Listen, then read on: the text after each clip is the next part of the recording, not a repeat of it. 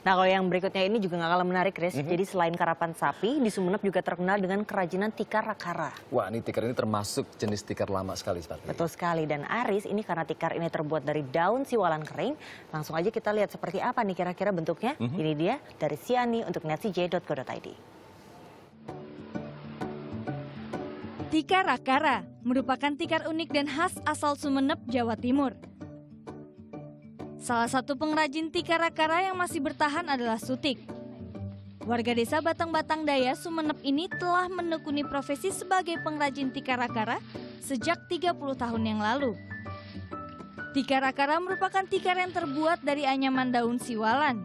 Sebelum dianyam, daun harus kering agar mudah saat penganyaman. Dalam sehari, ia mampu menghasilkan dua buah tikar dengan ukuran panjang 3 meter. Meski demikian, lama pengerjaan tikar ini tidak sebanding dengan harga jual karena sangat tergantung cuaca.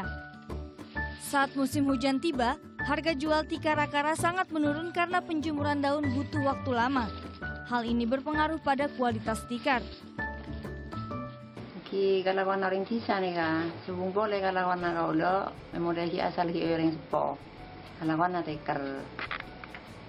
Ki Anjing ano na peker na ki tak no to te. Mula na juga musim nemor. Ki bajuna dua sebu. Lepas ni lancar lah. Bila musim perok, ada tak baju.